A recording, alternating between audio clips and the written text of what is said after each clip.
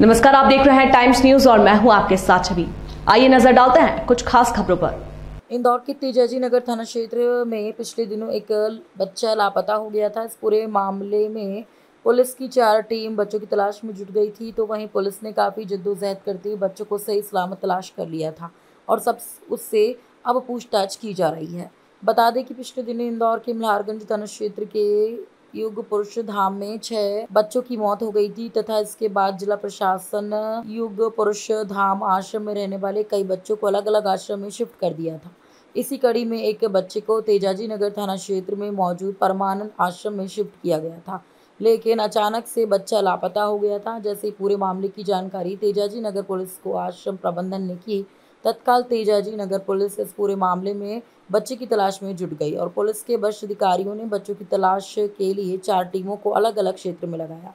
इसी दौरान पुलिस को मुखबिर से सूचना मिली कि लापता बच्चा बाणगंगा क्षेत्र में है। इसी सूचना के आधार पर बाणगंगा पुलिस क्षेत्र में पहुँची और बच्चे को सही सलामत दस्तियाब कर लिया। वहीं जब पुलिस ने बच्चों से पूछताछ की कि वह आश्रम से किस तरह से निकले तो बच्चों ने पुलिस को पूरी जानकारी दी।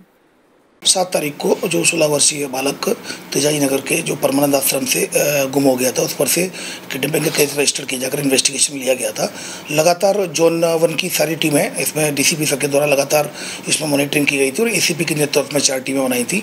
लगातार सीसीटीवी फुटेज और जो युगपुरुष आश्रम जो पहले बच्चा वहाँ रहता था, वहाँ पर पूछताछ डॉक्यूमेंट्स सारे रजिस्टर्स चेक किए और सी फुटेज के आधार पर बच्चे को बरामद कर लिया गया है।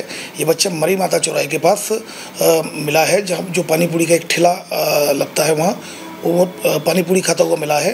जब उससे पूछताछ की गई तो उसके द्वारा बताया गया कि मुझे बाहर जाने का मन था घूमने का मन था तो गौशाला में जो चा, जो चारा डालने की गाड़ी आई थी मैं उसमें बैठ कर चला गया था और रोड के किनारे सोता था। टाइम न्यूज़ देखिए अब आपके मोबाइल और स्मार्ट टीवी